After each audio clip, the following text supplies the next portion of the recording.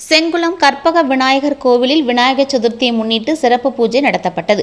நெல்லை மாவட்டம் பாப்பாக்குடி அருகிலுள்ள செங்குளம் பட்டவிருத்தி தெருவில் வீற்றிருக்கும் அருள்மிகு கற்பக விநாயகர் திருக்கோவிலில் விநாயகர் சதுர்த்தியை முன்னிட்டு பிள்ளையாருக்கு பால் சந்தனம் பன்னீர் உட்பட பல்வேறு வகையான வாசன திரவியங்களை வைத்து அபிஷேகம் செய்து கொழுக்கட்டை பாயாசம் சுண்டல் பழம் அவள் பொறிகடலை படைத்து சிறப்பு பூஜை நடத்தப்பட்டது.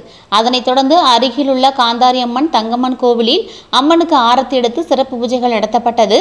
இந்நிகழ்ச்சியில் ஏராளமானோர் கலந்து கொண்டு விநாயகரை வழிபட்டு சென்றனர்.